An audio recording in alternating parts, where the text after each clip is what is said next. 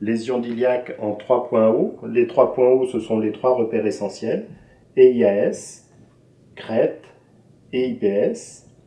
Si j'ai les trois points plus hauts que par rapport à l'autre côté, EIAS, crête et IPS, je parle de trois points hauts, c'est un iliaque qui est globalement ascensionné.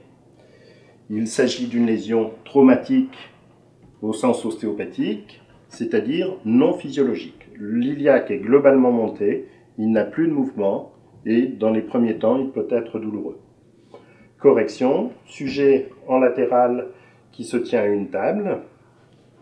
Je me mets en côté par rapport au sujet, je contrôle EIS, crête et IPS. Je demande au sujet de porter tout son poids sur l'autre jambe, de fléchir les deux jambes et de remonter. Remonte en force.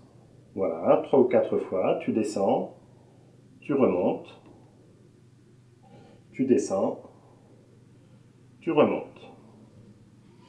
Une fois que j'ai pratiqué ma technique, je contrôle mes hauteurs des IAS, mes hauteurs de crête, mes hauteurs des IPS, puis je pratique une écoute des iliaques pour vérifier si je n'ai pas une lésion physiologique.